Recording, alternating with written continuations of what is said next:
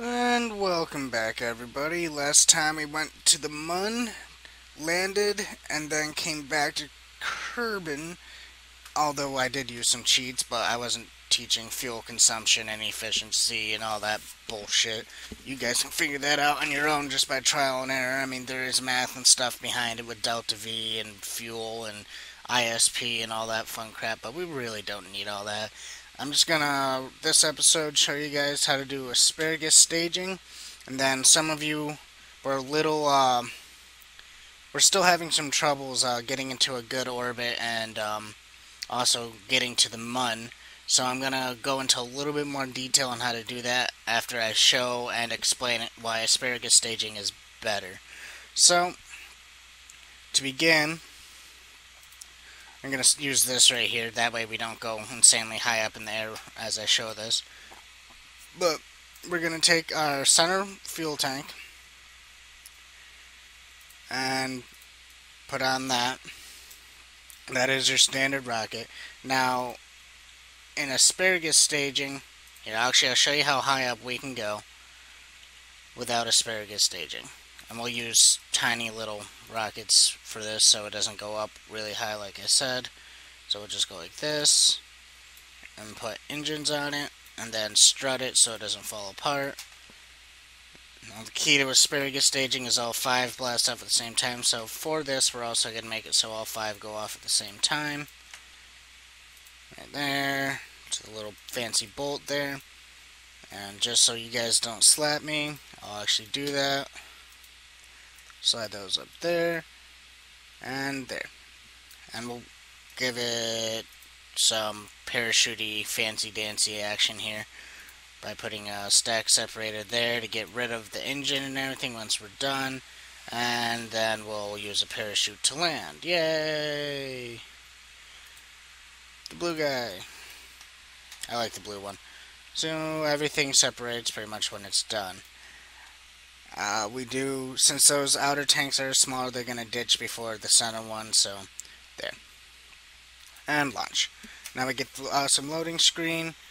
Um, right after I show you guys the advantages to using asparagus and all that kind of stuff, I will be doing a little bit more on how to get into orbit, and then um, real quickly I'm going to show you guys getting to the Mun Alright, so throttle up as always, hit T to turn on the uh, SAS. T for SAS, that makes you more stable. All cockpits come with it. It does use electric charge though. See my usage jumping around like a retard? Yeah. That's because it is using stabilization for some reason to keep me perfectly centered. Because there's some vibration from this. It's not perfectly stable. But yes, your cockpit has built-in SAS now as of version 0.21, but you can add in those inline stabilizers and everything to add more uh, torque and all that kind of control. So we throttle it up holding shift and hit space to release and go. And hopefully this doesn't get us too high, but it looks like it is. I am controlling my fuel consumption and everything. So we don't go up over 200 meters a second until we're above 10,000. Shouldn't be able to get above 10,000 though. I think this is honestly way too efficient for this test, but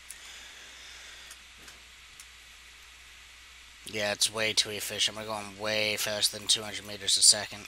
But we will still be able to see the difference between asparagus and this just uh, standard staged.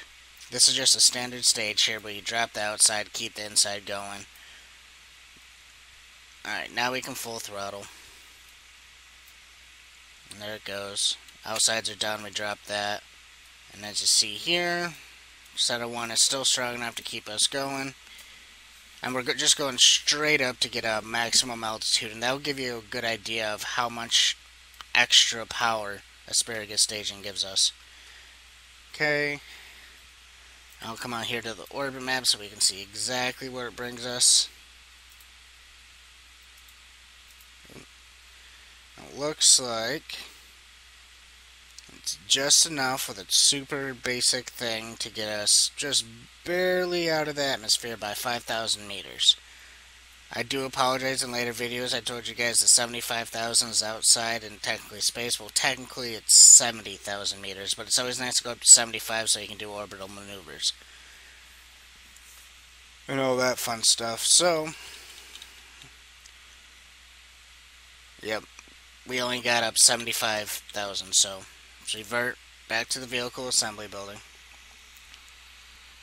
Now I'm going to do this all with asparagus staging. So we get rid of that, we get rid of all those. The reason why I had to get rid of those to do it is the way the uh, symmetry thing works. Is if I built all four around like that and I try to use fuel lines, it automatically snap to all fuel tanks. So what you do is if you want four external rockets, you build two sets of two. So I'm going to build one set here. Now if you notice, right now I'm aligning the uh, top brackets with the uh, line there on the side of the fuel tank. That's important, that way I can level them both up. since I'm not in symmetry mode for all four. The second set I'm going to have to manually set to the same height and everything. But we're going to use that holding alt trick to um, get us everything lined up so we don't have to worry about that. Put the liquid fuels. I didn't use that one, I used this one. Bam. Okay, now I'm going to hold alt on the brackets here. And then all I have to do is line it up on that line. And I set it wrong. It needs to go right there. Bam. Now, they are by a couple millimeters off, whatever. That will throw off the rocket just a tad, but we can control it with SAS and all that fun stuff. So, click there, hold Alt, so you copy and paste the whole rocket and everything, because you don't want to have it being off a little bit here, then off a little bit here. That just makes a mess of things. So, we'll get into how to organize all the staging and everything here in a second. The next thing you want to do is over in propulsion, you got these fuel lines. Make sure you're set to times 2 on the symmetry mode. And what you're going to do is you're going to come from this set of 2 and you're going to come over to that set of two. Alright?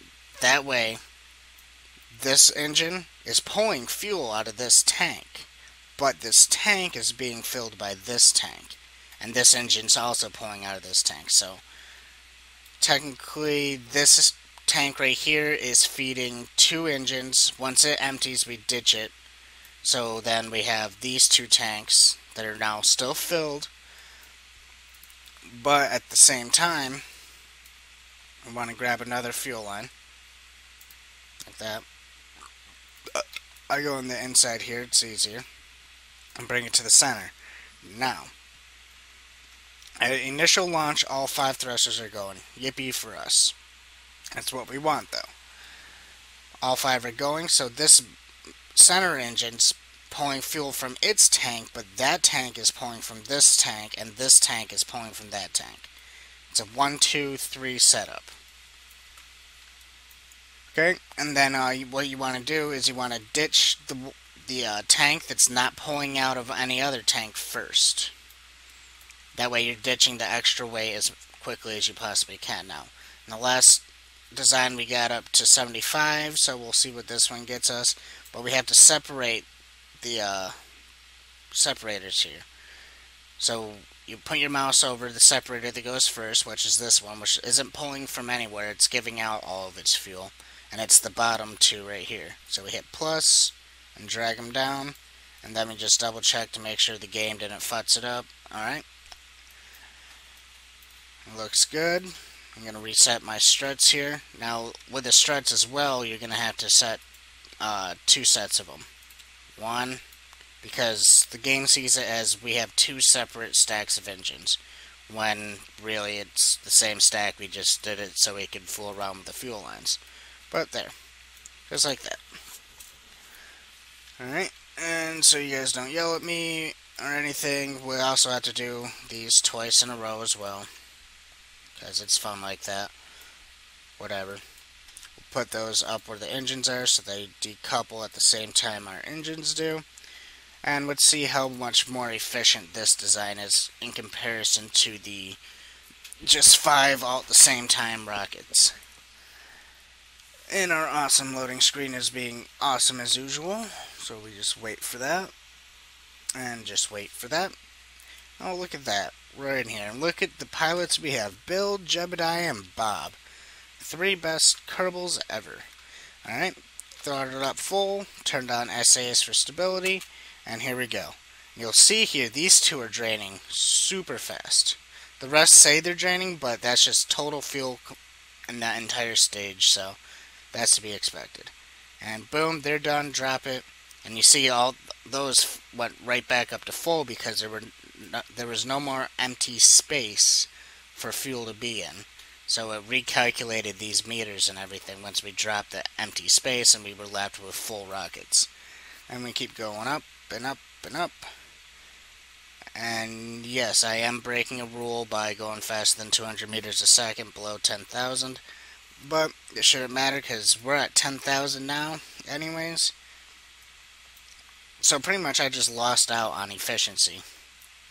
So I'm not going to be able to get as high as asparagus staging would normally get me if I followed that rule. But I'm still going to go higher than what the other one gave us. We're well we're about 20,000 meters up and still have a half a tank of fuel. That's how efficient asparagus is. Okay. Look at that. Here, any second, you'll see the apoapsis just jump out there. and beat our previous record. Same rocket, same amount of engine, same amount of fuel. It's just we did asparagus staging. In fact, the uh, fuel lines add weight. So we added weight even to the whole design and still got out to 130,000, which is pretty much double our max height, which is amazing. So that's asparagus staging. And here in a bit, I'm going to record the video for uh, me defining uh, how to get into orbit and how to get to the moon a little bit more for you guys and then I'll be going over uh, RCS tutorial and more specific docking on Tuesday. Alright? Until then, you guys have been great.